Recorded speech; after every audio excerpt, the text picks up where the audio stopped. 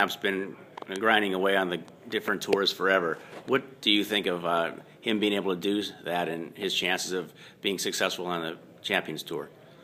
I expect Scott to be really successful on the Champions Tour. He's been reasonably successful everywhere he's gone, but he's still in great physical shape, and uh, he has a great mind for the game of golf and a terrific imagination. He's he's kind of always claimed not to be a great putter, but uh, I've never really seen that bad putting side of Scott. He hits it so well sometimes. You get so many birdie putts, you think you're not putting well.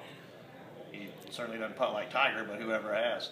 Uh, but I feel that um, Scott has uh, got the mindset and maybe hopefully the desire to go out there and be a dominant force on the senior tour, not just a you know periodic winner. I feel um, he is a ball striker and uh, he has a terrific short game still, and I hope he plays well out there.